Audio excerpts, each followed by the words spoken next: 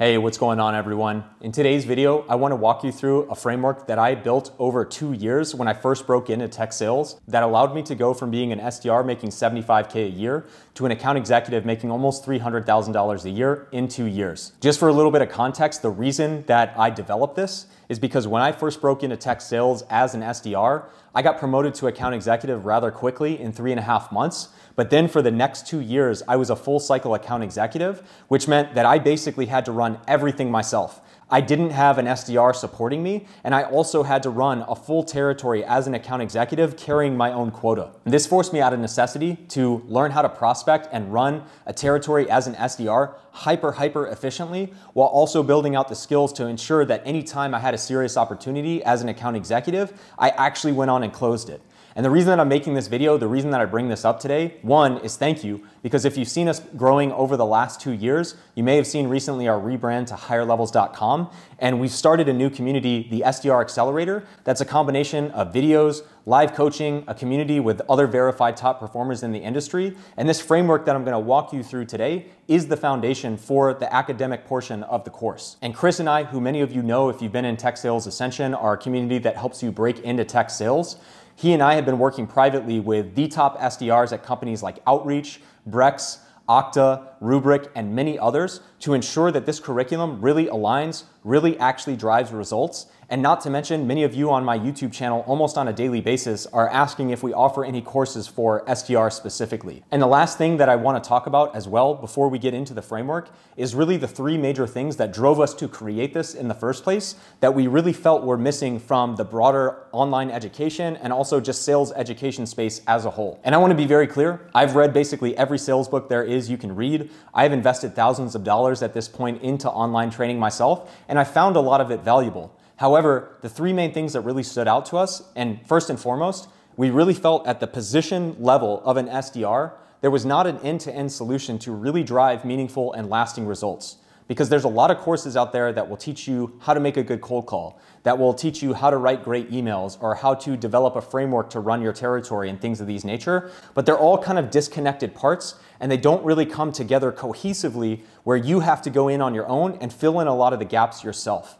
But additionally, again, if you're an ambitious SDR, I would imagine many of you, if not every single one of you that are in tech sales, are looking to break in or grow your career because it has an insanely high earning potential. And you can make a lot of money as an SDR, but you really make a lot as an account executive if you perform well and consistently over time.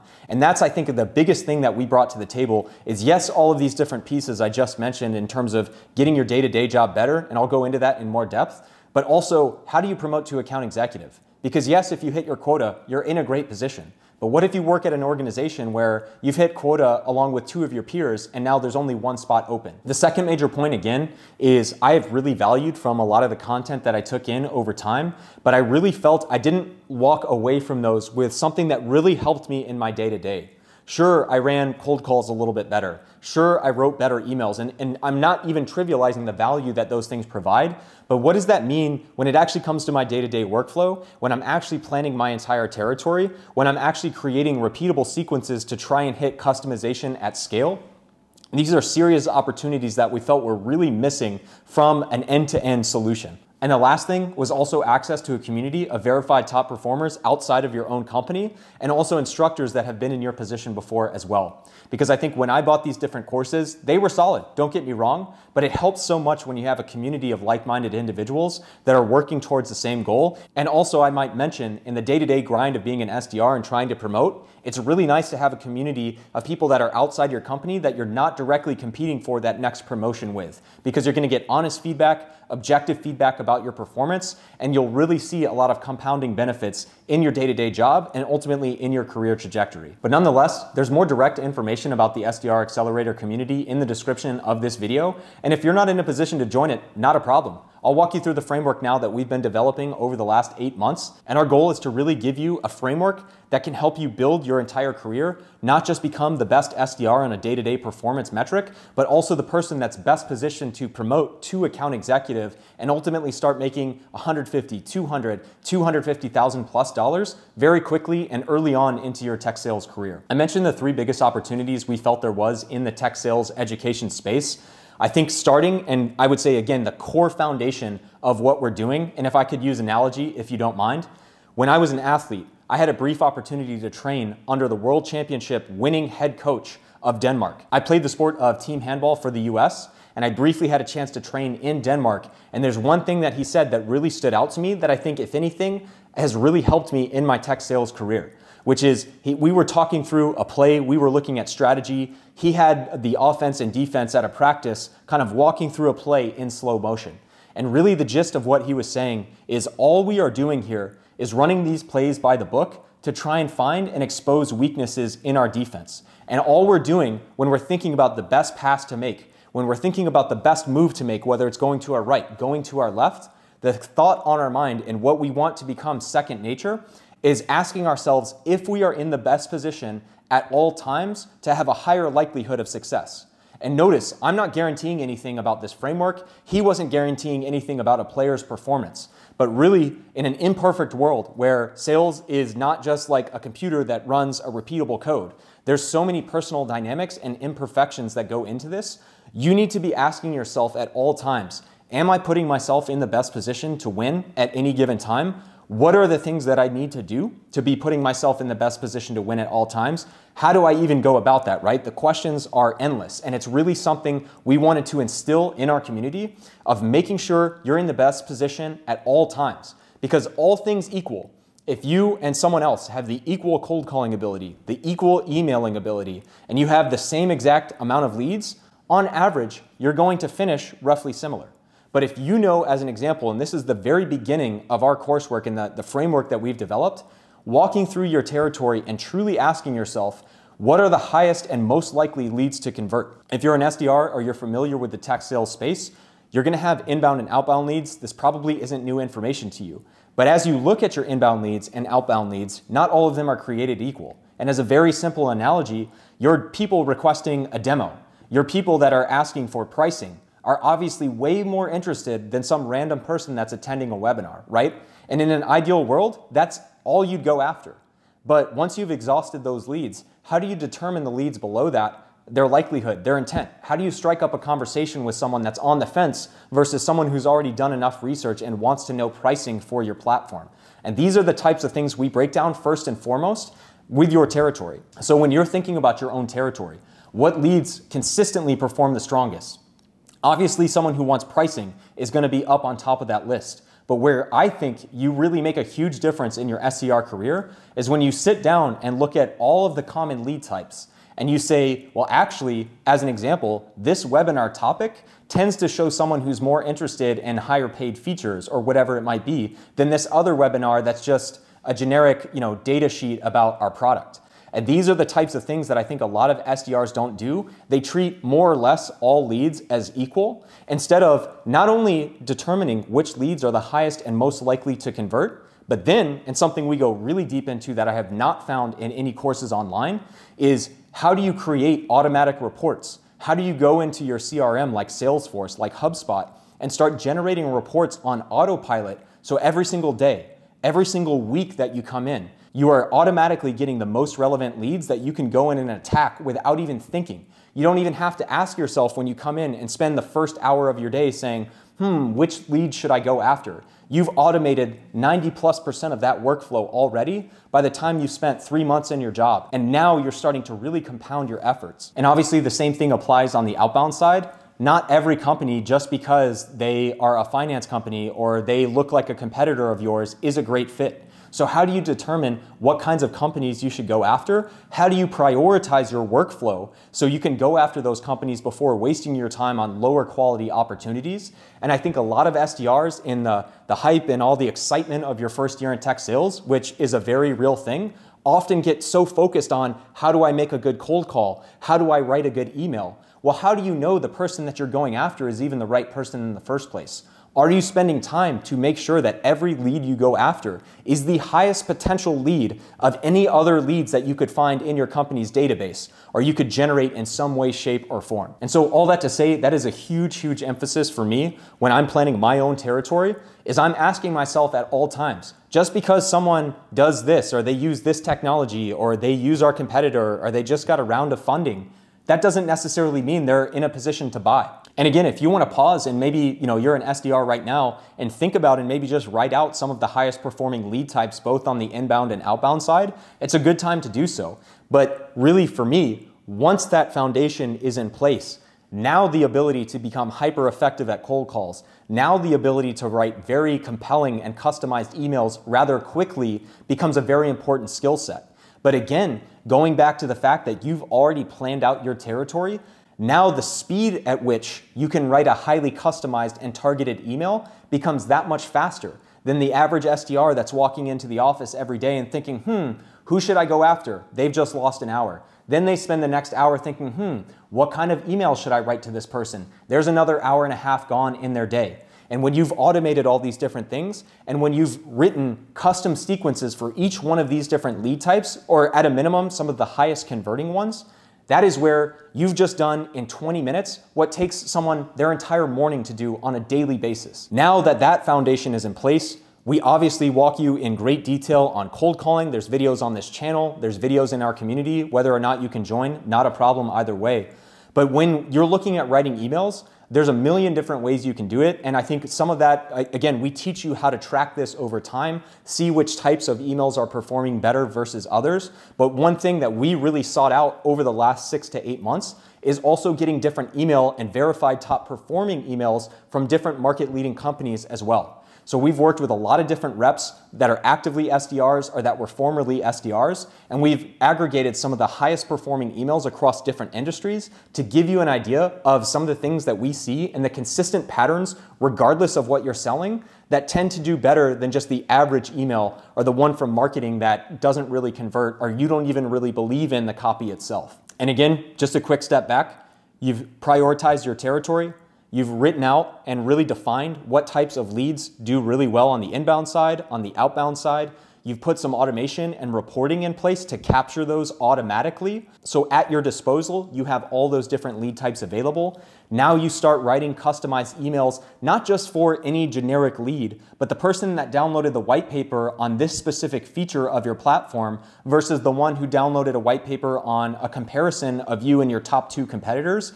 You are writing custom sequences for the lead type specifically, not just the generic CTO who looked at something on your company's website. This is how you truly accomplish personalization at scale, and it takes some time up front, but when you have this system in place, now we can get into the effectiveness of cold calling. And again, what you'll notice is because again, that foundation is in place, the ability to have a custom opener on a cold call, the ability to talk about something hyper, hyper relevant to that CTO who downloaded a white paper or attended a webinar becomes that much easier because you've laid so much of the groundwork down first.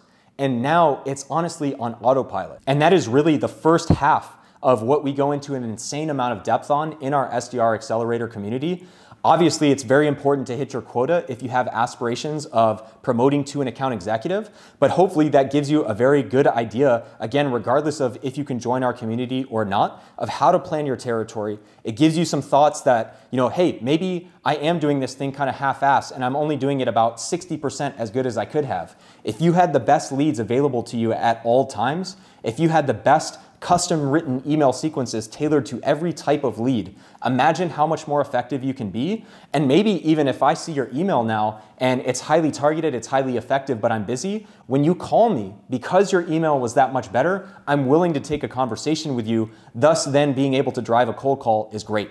But there's another portion, again, going back to some of the opportunities we saw in the tech sales education space. The second half of this framework and the second half of what we're teaching in our community is really around how to navigate the political situation of a company. And don't get me wrong, I am not here to teach people to do things deceitful or step on the toes of others, but there is a very real thing. If you're at a fast growing company, you need to be aware of your internal brand. If you're an SDR that's consistently hitting your number, but there's two peers around you that are more or less at the same quota attainment, and you're the one that's always complaining, you're being a pain in the ass, you're not thinking about how to position yourself long term, that will really hinder you when you ultimately get to that time to promote. And again, conversely, I do think there's a lot of things you can do to build rapport with your direct managers, to build rapport with the broader organization. And I think the biggest mistake, if any, that I see many young SDRs make is they think that quantity of exposure and quantity, just more time in front of the VP of sales, more time in front of the CRO, more time in front of leadership is always a good thing versus focusing on the quality. Because again, if you just feel like obligated to talk all the time, I, for instance, as busy as I am now, if I get an email from someone or some of my biggest fans on the YouTube channel, and again, thank you for the support, but if you're commenting all the time and I see you haven't actually made any meaningful progress, that's less impactful to me than maybe an SDR. Again, I'm, I'm not a CRO right now, I'm still an individual contributor. But if I have an SDR that maybe doesn't talk to me every single day, but every time they promise me something, they get it done, or every time they promise me something, I can tell that they really, even if they didn't accomplish their goal, they went to extreme lengths to attempt to accomplish that, and I'm only speaking to them once or twice a month, maybe. I remember that person, and I'm honestly more impressed by that than someone who just wants to talk about the weather or talk about the football game or talk about some generic topic all the time. And this is something we really dive into a lot, not only getting perspective from myself, but also from Chris and many other people in the industry. And I also think another element that is really not thought about long term is how to foster a relationship if you're an SDR with the team of account executives that you support. Because there's lots of opportunity there if you're working with an account executive who really values your work, who really trust you to call important and influential contacts within a company, you're gonna have a lot more leeway. And all of a sudden, you're gonna find way more opportunities rather easily because I, as an account executive, I'll be honest, anytime I have a very hot lead come in, anytime I have pricing or a demo request or anything of this nature, I'm inclined to take that myself because I know it's very serious. But if I have an SDR that's really working hard, that's really doing well, that has their messaging, they're consistent, they have all of these different things locked in and on point, I'm going to be way more tempted to give it to them, let them drive it, and give them credit for their work versus feeling like I want to do that myself. So hopefully the quality versus quantity analogy really helps crystallize in your mind, gives you the ability to reflect on your internal brand, how you're perceived by your account executives, et cetera, et cetera. The last two points that I really want to bring up are obviously the interview process. That is something that we go into an insane amount of depth on because I made this mistake myself when I first tried to promote to a higher level account executive position. I was ready to come in and talk about how my emails on average converted 10% higher than the average department email. I was ready to talk about how I had created 14 you know, sales opportunities on a quota of seven. I doubled my quota. Okay, what does that mean in terms of my ability to be an effective account executive? And it's not that that, you know, past work experience and those things aren't relevant, but if that's your entire platform going into a promotion for an account executive and you're not able to tell me how you strategically planned your territory, you're not able to tell me about a couple of different and unique opportunities that you really went out of your way to get and did different than any of your peers, if those stories aren't on lock, it's not like you're not going to get the account executive position, but you risk not being the clear number one candidate within that process. And that's what I'd say if there's any takeaway for you if you're an SDR looking to promote. Again, if you're hitting your quota and anyone else on your team is and you're up for promotion, that's table stakes. And that's a great thing to bring up. It's a great thing to talk about, but you also want to be able to communicate about how effectively you are planning your territory. You want to communicate via analogy and stories in terms of some of the biggest opportunities you created, some of the biggest accounts you were able to break into. And I see a lot of SDRs get tripped up in this because they think, hey, I hit 150% of my quota as an SDR. Why wouldn't you hire me as an account executive? And I think that's a fundamentally flawed narrative in your own mind when you're coming into those interviews. So we go into a lot of depth about not only how to handle the interview process, but how to package all of your SDR experience and really talk about it in a way that's meaningful to an account executive position. Lastly, a really, really big one Sales is a stressful career. Let's call it what it is. It is not all sunshines and rainbows. And I really think both via, you know, having people in your corner, whether that's at your company, whether that's peers in your family or your network that work in the same industry, having someone in sales really help balance you out, make you remember that the ups and downs are a part of this is really crucial to staying sane. And not to mention a lot of other things when it comes to just keeping a decent health, keeping decent fitness. These are things that honestly, I think if you really want to achieve high levels of success in sales,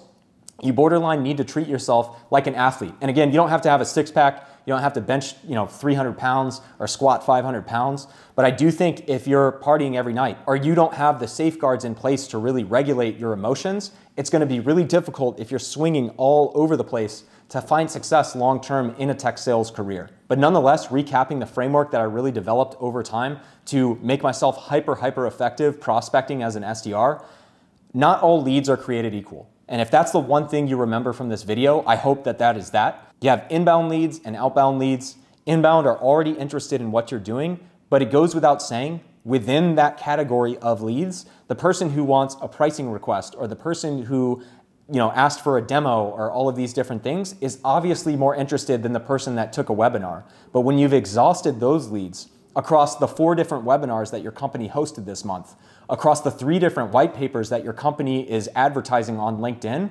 which ones equate to higher interest? And on top of that, how do you automatically create reporting such that you have those leads at your fingertips at all times?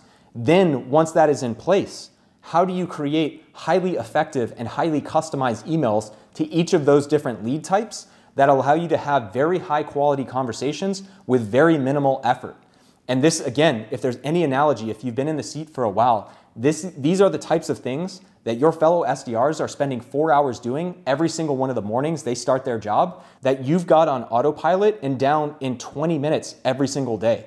And when you hit 80 to 100% of your number, basically on autopilot, Imagine how much more you can get done now with an effective relationship with your account executive. With all of that extra free time, you can find the leads that people don't even think about or have the time to even get to because they're so busy trying to create a custom email every day. They're so busy trying to ask themselves, which lead should I go after? And they may get an answer, but they don't put the reporting in place to get that automatically. They're not doing the things that make them consistently get hyper, hyper efficient with their time over time. And I think if there's anything you take away from this, that is the most important thing when planning your territory as an SDR and really positioning yourself as an effective account executive when getting to that interview process. So again, thank you all for the support over the last two years. The last eight months have demanded a lot of Chris and I, both between our day jobs and doing this at night and on weekends. There's more information in the description about our SDR Accelerator. And again, if you're not in a position to join, not a problem at all. I hope you got a lot out of this video and feel free to comment below if you have questions about your own SDR career. Feel free to shoot me an email in my about section on this YouTube page. And again, check us out at higherlevels.com. Really appreciate the time. Really hope you got a lot out of it and we'll see you in our next video. Thanks.